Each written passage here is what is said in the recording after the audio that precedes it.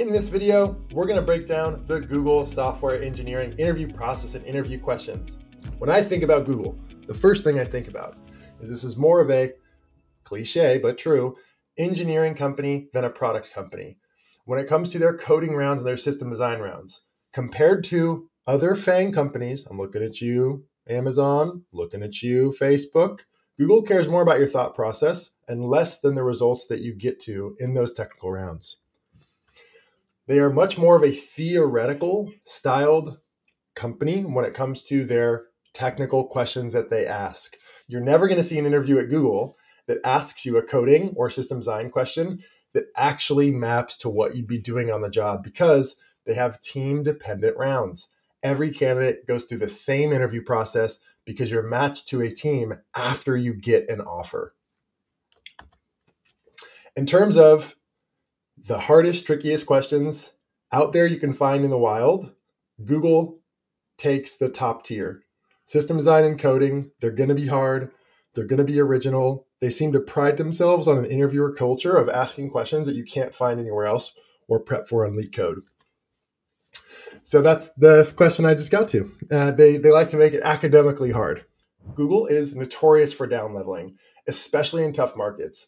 Sounds crazy, but I've seen a former CTO take an L4 job at Google. L4 is mid level for most people. I've seen former directors take senior roles. It's something that happens a lot. So you want to avoid down leveling by presenting yourself at the level you actually are throughout the entire stage of the process, from the recruiter screen to the tech screen to the onsite. Um, one thing candidates get wrong is not understanding that it's normal to take one to three months to prep for your on-site interview at Google. I say on-site, but really it's it's virtual sometimes too. But if you're unprepared, do not feel bad about rescheduling. They do not care. At their size and stage, you starting in June or November means nothing to them. So again, because they match you to a team after you get an offer, there's literally zero time sensitivity when it comes to completing the process at Google. They have an overhyped culture screen.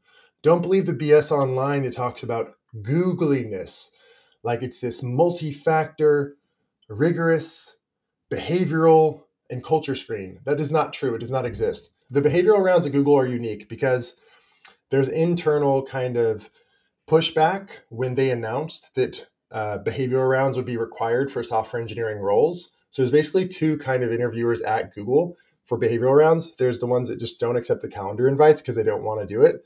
And there's the ones that actually will accept the calendar invites, but they just show up and check the boxes because they really don't agree with it being an interview round in the first place. They see it as HRBS.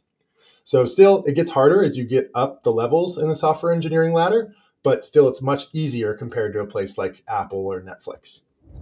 Google has rules of thumb for down leveling. So if you actually talk to somebody who's an interviewer there, you can probably find this out for any level that you're going for. But, like, for example, if you're trying to get an L6 job, it's expected that you've at least done technical leadership for 10 people before getting that job. So, not people management, but like mentorship, technical direction, anything involving architecture, but overseeing at least a work of 10 people or helping the work of 10 people that you're leading. Make sure to check out this guide that we have about the process. It actually goes through each round step by step for what you get asked.